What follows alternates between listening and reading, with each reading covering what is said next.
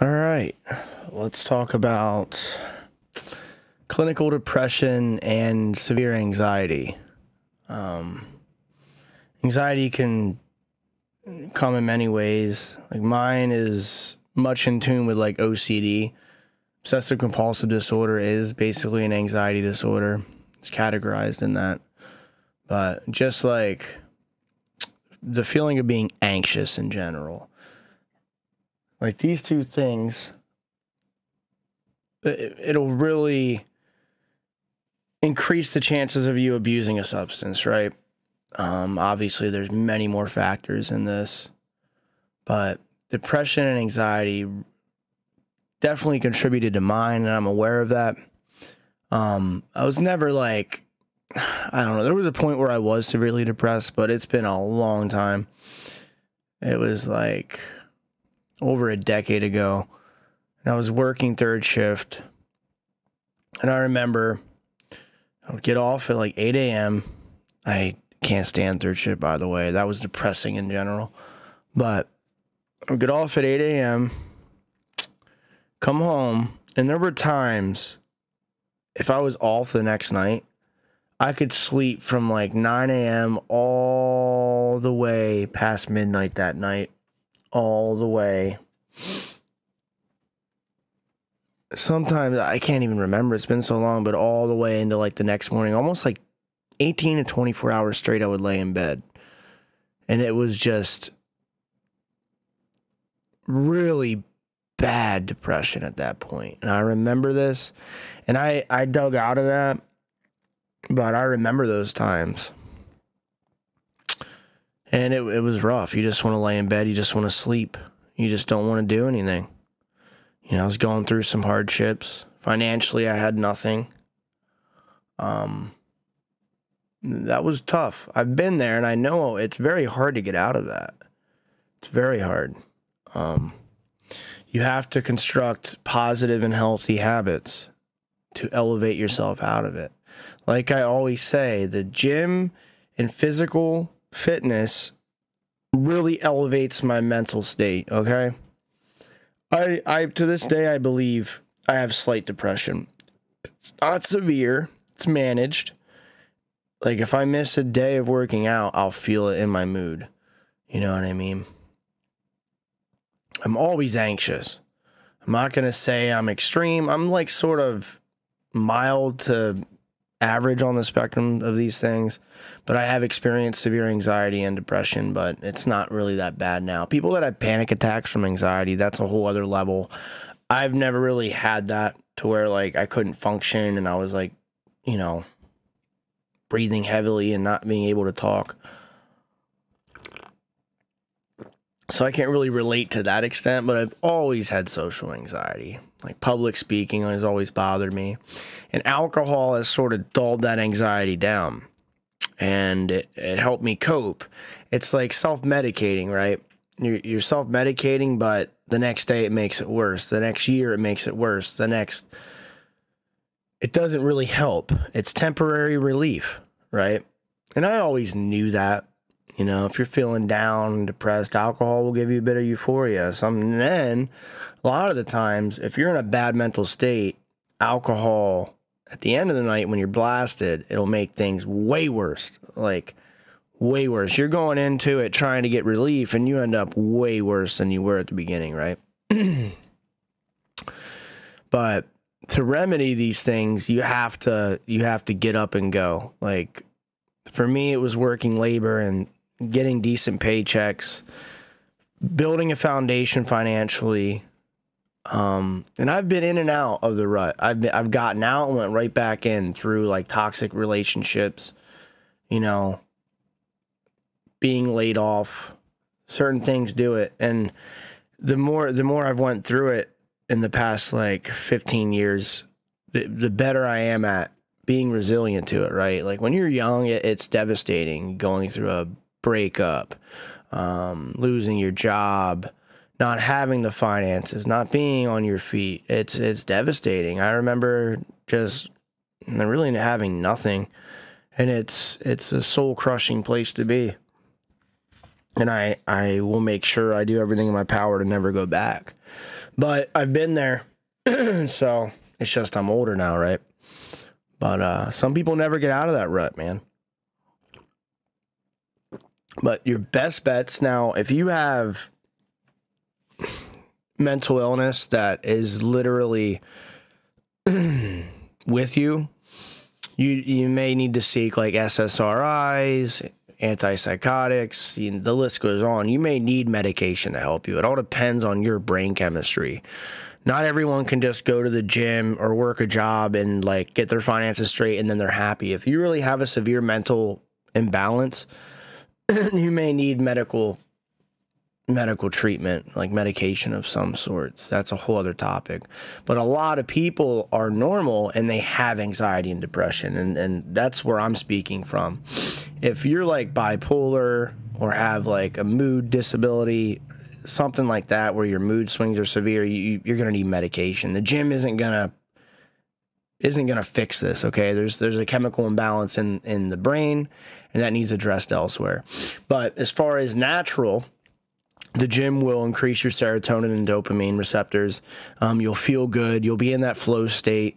I never finish a workout and regret it. I always love it.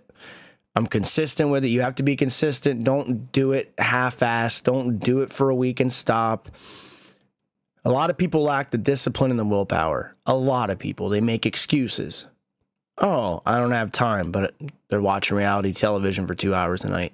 I don't have time, but they're sleeping 10, 12 hour day, 12 hours into the morning every weekend. I don't have time. I don't want to hear the excuses.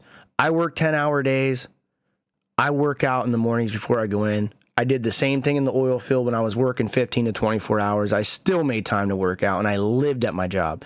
So when people make excuses, they seem pathetic to me. And I'm I'm sorry to sound arrogant. It's just confidence because I've done it. I've literally worked 8 a.m.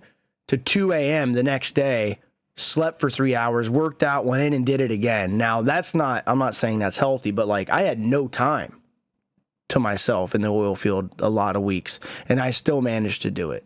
So cut your sleep back if you're sleeping obnoxious amounts of time. Get up earlier, cut out the trash TV, cut out the video games. I love video games. I do. But anyone that knows me now, physical fitness and finances come first. I will make sure I work out before I game. I'll make sure I go and get my stuff done before I game. I wasn't always like that when I was younger. I could play World of Warcraft as a teenager when I was 18, 19, 12, 15, 20 hours a day. I can't do that anymore number one, it's degenerate, and two, I don't I, I don't have the attention span I used to, unfortunately. And if you're in your 30s, 40s, 50s playing games 12 hour days and you're not making money live streaming or whatever, if you're not making a sustainable income, you got to really you got to really think about your life choices. Because I know people that can't even afford a $60 game release and they're $70 now. And to me, if you're a grown adult and you can't afford $70, you need to really assess your life situation. No offense, it's just a, it's just the truth. I know a lot of people that are broke and I don't feel bad for them because they waste their money on non-assets and they blow their money on alcohol, nicotine, marijuana, grocery store uh, fast food and convenience stores. They're overpaying. That's on them. I'm not I don't have a, anything against any of these things, but when you're broke and you're doing it, you have to moderate, okay? But now I'm going off on a tangent again. You have to build a foundation physically, finance, financially, and that will help ease your depression. I don't think I'm ever going to be as happy as a normal person. I think I, I'll, I'll always have slight depression, but I know how to manage it. Same with anxiety. I still hate large social encounters. Like I'm going through a leadership training program for my job and we have to act out rules and talk in front of like 30 people. I hate it. I can feel my anxiety go through the roof. But when I do it and I participate, I feel relieved afterwards. I know if I put myself in that situation nonstop for like a few weeks, I would probably get over it, but it's so uncomfortable to me, I avoid it. I'll probably be that way till I'm dead. I hate public speaking and I hate interacting with large groups. I just I don't like it. It's odd to say because I have videos online that have 200, 300,000 hits, views, so I'm exposed to like an absorbent amount of people, but it's not live per se. Or on Twitch, I'm live, right? But I'm in the comfort of my own home. They're not all looking at me and I can see their expressions on their faces and, you know, the eye contact. It's a whole different story. I, I envy people that can stand in front of crowds or people that can do stand up comedy, play an instrument.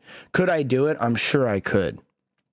Do I want to do it? Not particularly because it is very bad for me. My anxiety peaks at such a level like my heart rate my face flushes red i block up talking i can't talk right i remember memorizing entire speeches in high school and i would lock up halfway through and it was just like mental freeze man anxiety is paralyzing it's what it is but there are ways to battle that too i should put myself into more uncomfortable situations putting yourself in uncomfortable situations being more confident with your body structure, your financial structure, it'll build confidence in you. Like since I've lost weight and have a foundation with my body, I'm very comfortable with my body now. I wasn't comfortable with my body at 300 pounds. I wasn't comfortable with myself with $7 to my name or being in debt. I hated it. And when I dug out of this stuff, it made life a lot easier. I don't I still don't particularly like my job. My job can be a pain in my ass some days but it, it it's good money and I'm not going to give up. You know, there's days where, you know, and if, if I do go to another job, I have a resume. I have a lot of labor skills, forklift, valve tech, um, food industry. Like I got, I have experience. Like I'll be good wherever I work. It's just, it's nice being a leader at my current job. It's good for my resume. I've never really been a lead or supervisor anywhere, and it's it's a good opportunity, and I got to stick it out. It sometimes there's a lot of bull crap, but this is neither here nor there. But since I've gotten sober, a lot of good things have happened. I lost more weight. I've gotten substantial raises. I have a very amazing relationship with my girlfriend. I don't have alcohol hindering that. Um, a lot of good things have happened. I've amassed assets and collections because I, I'm not drinking, I'm not wasting time, I'm working, I'm making some ad revenue, I'm working overtime. So, like, every aspect of my life has gotten better. There's still things I need to work on. Anger management. Um, that's the biggest thing when I'm when I'm anger and like me not judging, but getting triggered over laziness and like low IQ people, like people that are low vibration that have no lust for life, no motivation. I get so angry, but the thing is, why am I wasting my energy on people that don't care about themselves? That's something I need to work on. I need to just let it be passive and not care because I just don't deal well with it. And like in life, if I could just work from home and not deal with people, I'd be fine. But I'm at work, I'm seeing people that are just blasted drunk every night coming in. They don't shower. They don't have the work ethic. They don't have a brain. And it's like, it triggers me because I'm trying so hard to just advance, advance, advance. And these people are just stuck. And they're older than me. They're just stuck and they hate life. And I don't hate life. Sometimes I do when I'm at work. That's work though. But when I'm at home, this is my sanctuary, man. I have what I want and I, I get what I want. I don't have exotic cars or a mansion, but I do very well for myself, especially in comparison to people around me. And I just low vibration laziness and low IQ, I just get so triggered and I shouldn't. And I also I know people's potential and when they don't do anything about it, it bothers me. And I'm telling you right now, if you go and lose weight, if you quit nicotine, quit drinking, if you build a foundation financially, if you do all these things, and you see people make excuses around you when you've done it, you'll take offense to it. It's like, I did it. I busted my ass. I did it. I came from nothing. I did it. I have the stories. I have the repertoire. I have the resume. And when people are just chirping, making excuses, or just talking, I can't stand, I'm to do it. I'm to do it. And then a year later, I'm to do it. And they never do it. They're just talking. They're not implementing anything. They're not taking action. If you're just talking about it, you're not acting on it. You got to just do it. It's just a, it's the most cliche freaking sayings in the world are that are so true. Actions speak louder than words. Don't talk about it, be about it. Become the motivation you seek and, you know, express it to the world. It's that simple. Don't talk about it. I can't stand people that chirp all day. I never could. But now that I have, I've done these things, I can't stand the people that just talk even that much more. Oh, I'm gonna go to the gym. They never go. Oh, I'm gonna try to start up a side business. They never do. I'm I want to have assets. They never do anything about it. I just I don't know. It's something I struggle with and now I'm like rambling off, but that's those are the things that that help me. And knowing I have people that have rooted against me and I know they're watching. I your haters are going to be the the people that look at you the most, trust me. And the fact that I just throw it all out there with my sobriety, my weight loss, my assets, my collections. Failure fuels me. And like when people that doubted me see that they eat their own words, I relish in that. It might not be the most positive trait on earth, but I love it. I love the people that called me fat are now overweight looking looking at me be fit, knowing that I they're like, "Wow, he's doing an insane diet. He's structured a diet. I basically have self-taught knowledge in dietitian and nutrition. I can tell you I can tell your average person how to lose the weight and put the muscle on. Like I've done the research, I've done it. It's not really that hard and now I'm just rambling, but I love that the people that call me fat see me fit. The people that said I'd be broke see me amass more than your average person could think of. Um, they doubt you. Oh, you can't. You you know you can't work. And in the oil field, I work more in a week than they have in two. I currently work 50 hours a week in metal fabrication, and I'm basically a, a supervisor on the floor. I became a, a mini boss. I'm not a top tier boss, but if I get there, I get there. If not, whatever. I'm I'm doing fine. And it, it, it eats these people's hearts out. And that's what you want to do. You don't want to just lay there and take the beatings, man. You want to get up and make them eat their words. You want to make them sit there and go, "Wow, what is he doing? What?" You want their jaw to drop, okay? And if they're not looking, who cares? If they're looking, they're going to see it.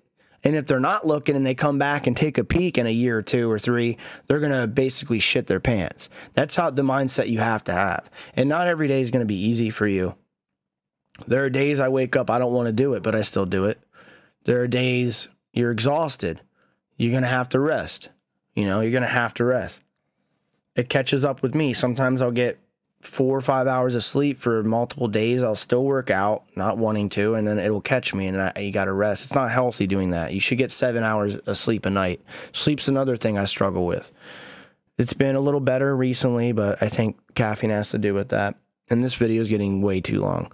But build a foundation of positive positive things and healthy things. Okay. Um, that will ease these things the most, even your anxiety.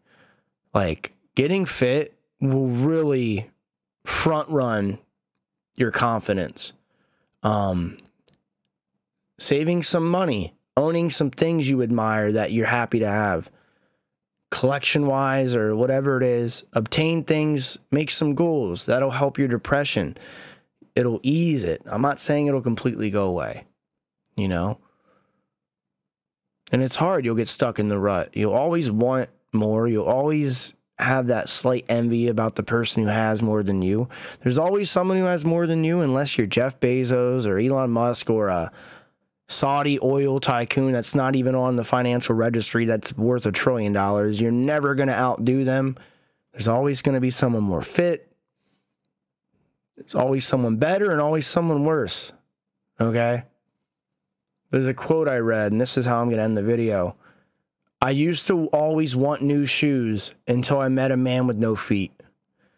And I weekly I think about this. Why am I complaining about my life when there's people starving? There's people binging drugs, living homeless in the winter and summer. There are people living in huts in third world countries. There are people that are quadriplegics, paraplegics, they're missing legs and arms, living their life fuller than people that have everything because they deal with what life, you know, the cards they're dealt. or there's people that are locked up for 20, 30 years, which is unfathomable. There's people that have been wrongfully locked up for 10, 20 years. Can you imagine that? And we're here complaining. If you have a roof over your head, a pillow to lay your head on, and you have food in your fridge, like, why are you complaining? You know what I mean? Yeah, you may not have a mansion and a Lambo. You may never have that. You can still be happier than the person that does. Not everyone who has all that stuff is happy, bro. And that's just the truth. To me, when I see people on Instagram flaunting, to me they they just they don't impress me. I know behind that smile there's there's a brain that's not happy. Some of them very well may be. I hope they have that figured out and that's awesome they got money. I'm not going to say money's going to cure your depression, but it definitely helps you out in life. You need food, things you want. It can help you vacation. People that say money's bullshit, they're just floating their ego because they're broke, all right? And then the rich people that say money's not everything are just trying to dull down the fact they have all this money. You need money to survive. You need money to get by, and it can buy things that that can soothe your your lifestyle, okay? It's not everything. If you become a multimillionaire overnight, it's not going to cure all your issues, but it would definitely help out in life. Like people need to stop dogging on money or glamorizing it or destruct like deconstructing it because it is essential, unfortunately. And to deny that, you don't want to say you don't want to be comfortable with being broke forever just because money's the root of all evil and crap like that. Like don't don't feed me that crap. Only broke people are going around saying that kind of stuff. And the rich people are saying that money's not everything when there's they have mansions and guards. It's always the people that are anti-gun that have security with weapons, all right? It's always the people with the mansion saying, you know, how like they're always like counterintuitive with things the broke people saying money ain't crap. The rich people saying money ain't crap. Like they're both sort of wrong, man. But anyways, this video turned into a rant, and I apologize. But there's a lot of bullshit in this world, and you got you got to filter through it because there's a lot of positivity, and a lot of what you're gonna see is negative, negative, negative, and it's gonna bring your mindset down. It's going to cause depression and increase your anxiety. And you got to learn to deal with it in healthy ways, not coping mechanisms, because it's just going to drive you down further. It is a good world out there. You just got to look in the right places. Media is not the place to look. Aggression, violence, negativity creates clicks, creates ad revenue, They'll switch titles on things, they'll misconstrue things to get revenue, to get money. And all this stuff is going to increase your anxiety, make you more depressed, and it's going to mess you up. Seeing people on Instagram that are less than 1% of the population that have trust funds out on yachts in mansions. It's not your average person. Your average person's living day to day, man. And people are so focused on this bullshit thinking they should have it. Why am I not good enough when it's people that were handed things, okay? Or if they grind it from the bottom and have it, good for them. I respect that. I don't respect people that are handed money. They're full. They're they're fools to me. Whatever. If I was handed money through a trust fund, I'd be the same way. I probably wouldn't have half the character I do. I probably would blow the money like the, most of the trust fund babies do. But it's not reality. You know, you have these girls making multi million dollars every year more than uh, probably tens of millions off of off of really low ego driven incels that have no lust for life other than to give money to a girl that's not going to pay attention to them. And it's sad and it's depressing. And not every girl's going to start an OnlyFans and become rich. There's girls that are local to me out here in bumfuck suburbia that run OnlyFans. They probably make 20 bucks a, a month and they think they're hot shit. It's pathetic. Like, get a, get a job. These people wouldn't have existed in 1980, 1990. All these streamers and crap. Well, they would have existed because you have to be resilient and you have to find a pathway. You, you know, if there wasn't the internet, they'd be working. It's that simple. But all this easy money, ad revenue, grabbing and just flaunting, and all these suckers just giving money out, it's just pathetic. And these people just, it's not natural, number one. And two, a lot of these people just would not be as wealthy as they are if it wasn't for the internet. That's just the truth. And I can't hate. They're taking advantage of it. I get it. It's just depressing. There's that. There's tens of millions of just really degenerate human beings out there that are just sitting around doing nothing and just looking to fill a void and and that's giving money to a girl that doesn't care about them online. That's a whole other part of social media that I can't stand. It aggravates me. I've never once given a penny to a streamer or a cam girl. Ever. Ever. I just never understood it. But this is the end of my rant. This video is way too long. And I'm sure people are going to click out of it five minutes through, which is okay. Um, we might as well make it 30 minutes since we're already this far in. Um, but yeah, media, social media, it's all going to bring you down.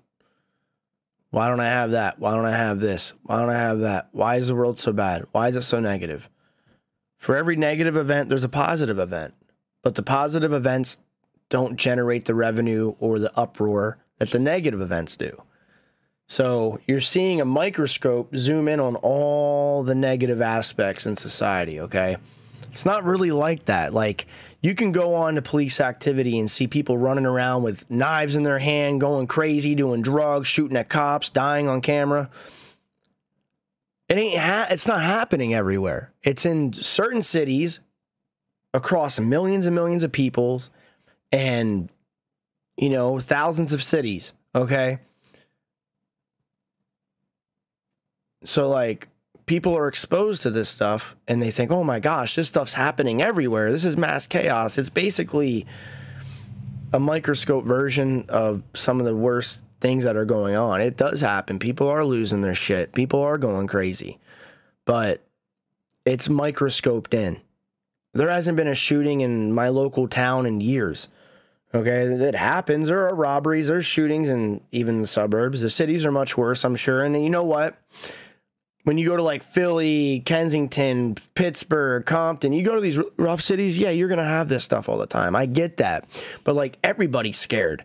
No matter where you're at in the US, everybody's just scared to live. And it's like this stuff's not happening everywhere as like a blanket thing. You know, I won't deny it. There are some rough places. There are crimes and murders every day. But I know people that are out here in bum fuck and they're scared. And it's like, you got to live your life, man. But this video is way too long. I apologize for rambling. But yeah, get positive structure physically, financially, build a foundation, and it will ease the depression and anxiety. If you're not comfortable with your body, change it. If you're not comfortable with your financial status, change it. Just in a year, you can drastically change your life.